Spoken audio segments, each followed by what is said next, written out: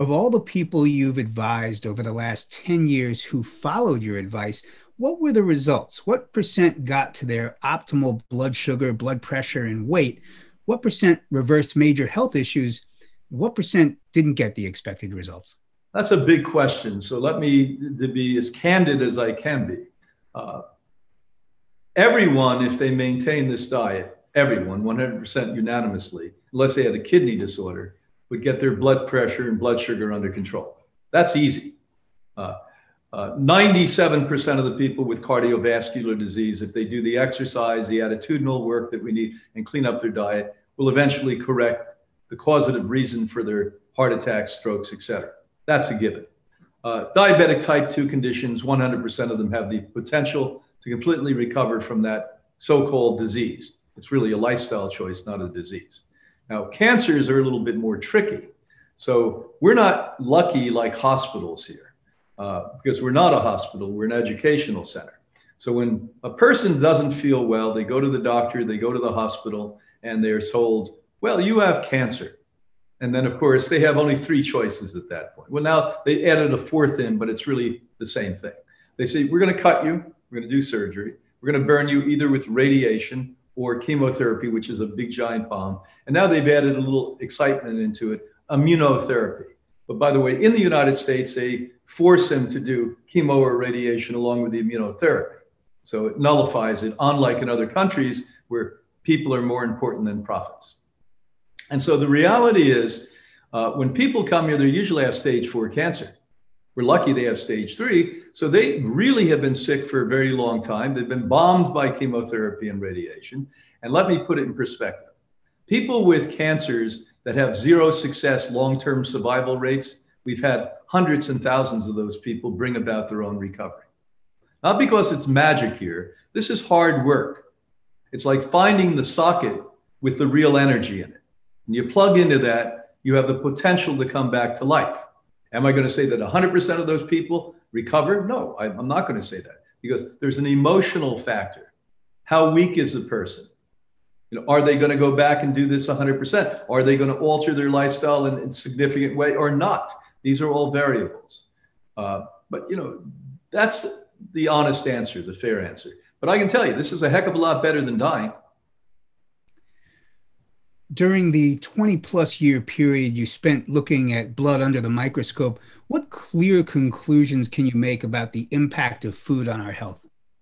Well, this is really interesting because my wife, not me, but I was privy to this. I sat next to her and learned from her, uh, looked at bloods of thousands, tens of thousands of people for more than 20 years.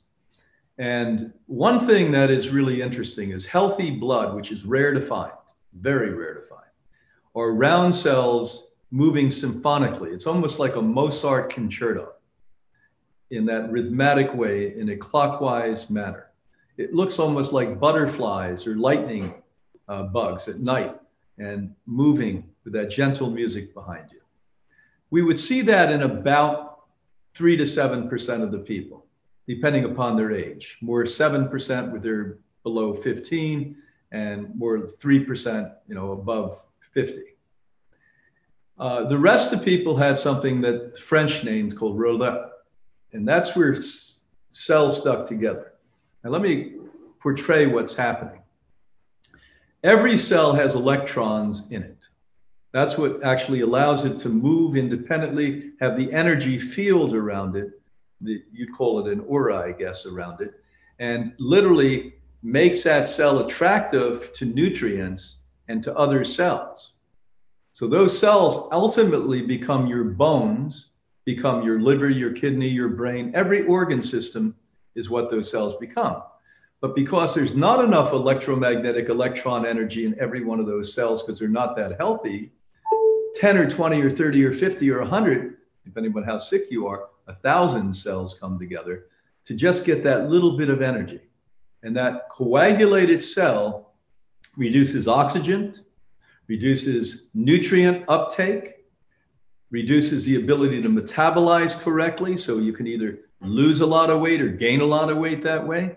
And more important, your brain and your organ systems do not work at the in the way and the at the level that they should. So that we learned. And when we put people on this lifestyle and we have them exercise, because exercise is as important a component as the food on this one, in, in a three week period, was usually about 14, 13 to 14 days between the testing, we would see about half of those people come back to somewhat normality. So they may not completely healed. I would say that's 20% are now all flowing and the Mozart thing is happening. Uh, and the rest are at least moving and there's not lots of coagulated cells. It was one of the ways, of course, we can't call it diagnostic in the United States. We're such a free country.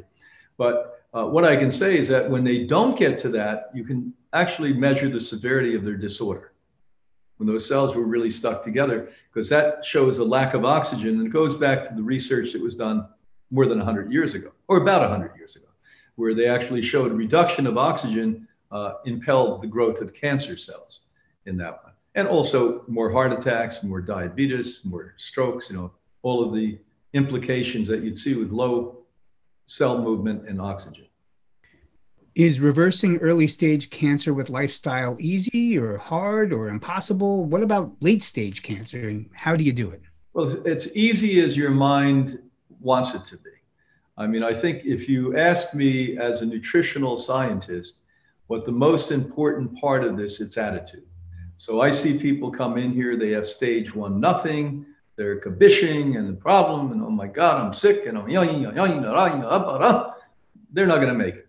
And I see other people come in here with stage nine cancers. They've been to the top institutes in the world and they've been told, you're going to croak. And they say, no, I'm not. And they walk through fire and they heal themselves. So we now know through bodies of incredible science how imperative it is to have an upbeat view of your future. And if not, let me tell you, it destroys the immune system quicker than a hamburger does. So that's number one. So everyone that comes onto this campus and joins our programs gets psychotherapy. Most important thing we do here. Now we also have an energy medicine department that is really uh, taking and wiring your brain in a totally different new way. Things like NuCalm that put you into a deep state of relaxation that activate immune function, you know, at an extraordinary level. So we're doing all of these things that we can to get that calm mind and active immunity happening. Now, with all of that said, um, a person's view of adopting another lifestyle is pretty important too. If somebody's saying, "Oh, I don't like the taste of this," every time they eat it, uh, it's not going to work as well as if a person says, "Maybe this doesn't taste like eclairs to me, but by the way, I know it's going to heal me." And that was a work that was done by uh, the oncologist, Dr. Carl Simonton, and somewhat Dr. Bernie Siegel, who was at Yale at one point, and uh, in recent years, you know, Dr. Bruce Lipton and others. And when you look at the power of visualization and intent, uh, you do it and I do it every day in our life, but we don't acknowledge it. For instance, every once in a while, I look around the Hippocrates campus here, 60 acres, and I remember uh, looking at the building that we built, me visualizing that building 10 and 20 years before I had it built. And I said, you know, we talk about visualization like it's some abstract thing. You and I do it every day. You know, you you visualize what you want to prepare for food. You visualize where you want to drive. But most of us somehow when we become wounded, we become ill, we become limps and we just say, oh, we got to go to somebody else to heal me, you know, rather than say, hey, let me visualize my own healing and the intent and the power of doing that. And then you confirm it by feeding yourself these phytochemical rich foods. And you don't give in to disease and you don't give in to death. That unbeatable combination always works. So when I've worked with those stage nine diseases, let me tell you, I've worked with lots and lots of these people, tens of thousands of people. And I've seen them get well. They've committed themselves completely to themselves, not to a program, but to themselves. And once you get to that point where you're going to walk through fire and do whatever it takes to heal, you heal. What can we do to prevent against bone fractures. There was a study that came out recently saying vegans have more bone fractures. What did you think about this? Well, I think they had to be poor eating vegans because people like me would have less bone fractures. Um, a mineral rich diet that's living food uh, would, would actually increase its ionic minerals. Uh, so whoever did that study was probably anti-vegan or went to Beyond Burger or Impossible Burger eating vegans or junk food vegans. People on all junk food diets, including vegan junk food diets, are not eating healthy food. Let's start with that. Uh, on the contrary, food has very little to do with bone strength. It's weightlifting that does. Anyone that doesn't know that shouldn't be doing studies on diet and, and bones. Um, weightlifting, weightlifting, weightlifting, weightlifting, weightlifting. Now, diet. That's how it goes.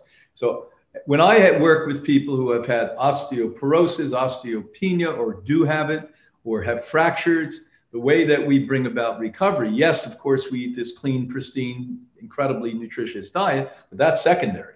That's way down the list. It's weightlifting. And what's also interesting, when you fracture a bone, that part of the bone almost never fractures again. Because when you break a bone, it's sort of like ripping the muscle, ripping the bone. And so it, the intensity, the cells come closer together and there's less opening between the cell. So the elasticity of the bone's not there to fracture easy. It gets really strong, almost cemented into place, is why weightlifting is number one. Yeah. What foods, by the way, have it? Arugula, as an example, has eight times more calcium than milk does. And milk is not a good source of calcium for human beings. Great source to get cancer, great source to get diabetes, great source to get heart attacks and strokes and impel everyone to have more multiple sclerosis, Parkinson's disease, the list goes on. But you're not going to get much calcium, if anything. Matter of fact, that level of calcium globulated at such a high level for an animal that weighs a thousand pounds cannot enter into the human cell in any significant way. So eat arugula. It's a weed. By, it's free, by the way. You live in a warm enough climate, free year round. Uh, spinach has three times more. And so when Popeye was eating spinach and saying strong, yeah, it builds muscle because there's a lot of protein too. And in fact, spinach has about 17% protein in it. And the reality is, but it also has a major amount of calcium in it. But it's not calcium that people lack. Uh, I've uh, been now for since the 1990s uh, looking at a very, very sophisticated nutritional profile on people. And in that profile, we find out that it's only one out of 125 women truly lack calcium. But what they do lack is biosil, which is silica, and biotin, which is an amino acid and protein, and weightlifting, weightlifting, weightlifting, weightlifting.